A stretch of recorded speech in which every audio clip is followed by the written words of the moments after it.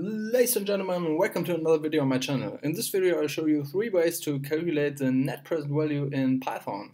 If you have no idea about the net present value, that's absolutely no problem as I'm covering a brief introduction here and also this video is showing you to automate your stuff in Python so it's actually pretty worth it even if you have no idea about the NPV.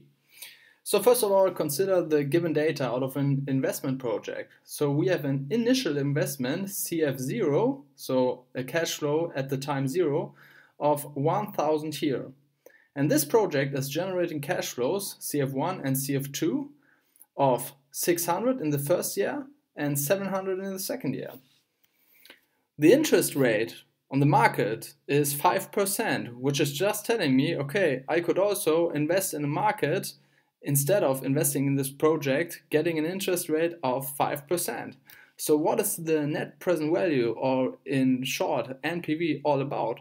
Well, it's just telling me is this project worth it if I'm taking the interest rate into consideration and a net present value of bigger than zero is telling me it's worth to invest in this project. All in all together, the NPV is the sum of the discounted cash flows. So let's actually code that in Python. Let's define NPV as our variable, which we are defining as. Now discount the first cash flow by CF0 divided by 1 plus our interest rate, which is 0.045, to the power of, and then the actual point in time, which is 0 in this case. Now we add the second cash flow, or the first cash flow to be more specific, divided by 1 plus interest rate, and then to the power of 1 point in time. And last but not least, we're getting the second cash flow divided by 1 plus interest rate to the power of 2. And that's it. So let's print this out and see what happens. Well, we are getting an NPV of 206.35, which is telling us, okay, it's definitely worth it to invest in this project. And that's it. So how can we avoid all those tipping stuff here? Well, we can create a loop.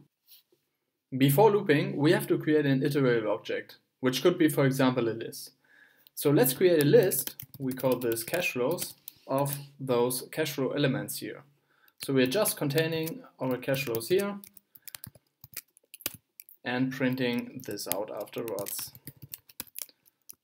So we got this list of those cash flows. In case you don't know what's happening here, just click my video on this in the introduction part. Now let's reset our NPV variable, which is stored here right now, at zero.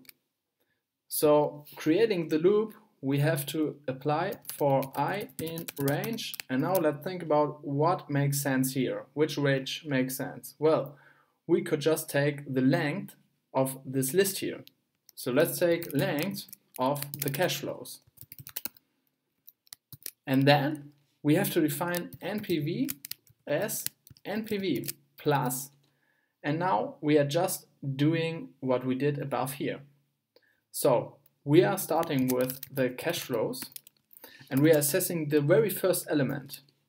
So we are just taking i here, which is an index value of this list. So this loop is going through this list from 0, which is the first element here, then 1, which is the second one, and then 2, which is the third one. So this is covering this one here, or this one here, or this one here. Now we have to divide as we did here above. So we have to do the exact same thing. So we are just saying interest rate and then to the power of, and as we did here, we just take the point of time here. So 0, 1, and 2. So we are taking i here because it's the same. i is starting at 0, then 1, then 2. Now afterwards, we just print out this NPV value and see if everything went better than expected. And as we see, we're getting the exact same NPV as above, so it works pretty nice. But this is not our final form. So let's continue by defining a function out of that. So let's define our NPV and define arguments as interest rate and of course our cash flows, right? Now, first of all, we do an automatic reset of NPV in this function, okay? After that, we are just copy pasting this here because it's the same thing here. So we are copy pasting that and of course we need an indentation here. And then we need to return this NPV afterwards. Okay, so that's it. We defined an NPV function in Python. So does this work? Well, let's find it out. Let's call this function by NPV and then we are taking just the same as above, the interest rate of 5%, so 0.05. So, and then we're just taking our list of cash flows from above, right? So we are just typing in cash flows here. Oh.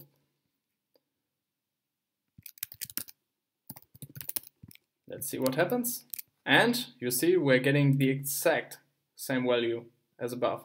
And the cool thing about this function is you can just type in whatever you like here. You can define a new cash flow uh, list and uh, a new interest rate and just call the function with, with other parameters. So see what is happening with this project if the interest rate is increasing, for example, to 10%, you see that the NPV is decreasing to 123.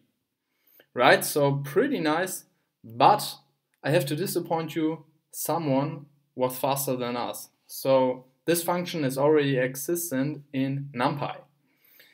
So I'm just showing you, you can import NumPy as np and then just np dot npv and then you are defining our parameters, so 5% and the cash flows. And if we execute that, you're getting our NPV from above. That's it. Thank you very much for watching. I hope this video helped. See you next time. Bye bye.